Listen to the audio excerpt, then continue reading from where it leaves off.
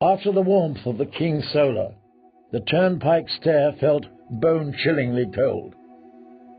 Wind's rising, milady, the sergeant warned Melisandre as he handed Jon back his weapons. You might want a, a warmer cloak. I have my faith to warm me. The red woman walked beside Jon down the steps. His grace is growing fond of you. I can tell. He only threatened to behead me twice. Melisandre laughed. It is his silences you should fear, not his words.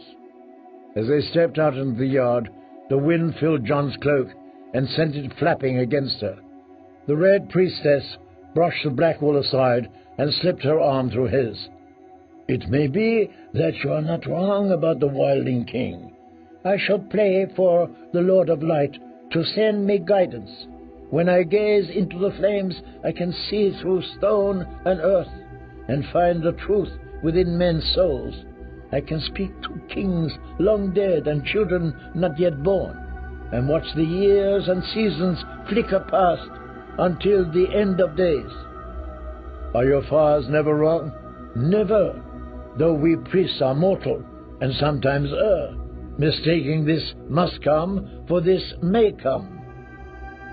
Jon could feel her heat, even through his wool and boiled leather. The sight of them arm in arm was drawing curious looks. Oh, oh, they will be whispering in the barracks tonight. If you can truly see the morrow in your flames, tell me when and where the next Wildling attack will come. He slipped his arm free. R'hllor sends us what visions he will, but I shall seek for this man Tormund in the flames. Melisandre's red lips curled into a smile. I have seen you in my fires, Jon Snow. Is that a threat, my lady? Do you mean to burn me too? You mistake my meaning. She gave him a searching look. I fear that I make you uneasy, Lord Snow. Jon did not deny it. The wall is no place for a woman. Oh, you're wrong. I've dreamed of your wall, Jon Snow. Great was the law that raised it, and great the spells locked beneath its ice. We walk beneath one of the hinges of the world. Melisandre gazed up at it, her breath a warm, moist cloud in the air. This is my place, as it is yours, and soon enough you may have grave need of me. Do not refuse my friendship, Jon. I have seen you in the storm, hard pressed, with enemies on every side. You have so many enemies. Shall I tell you their names?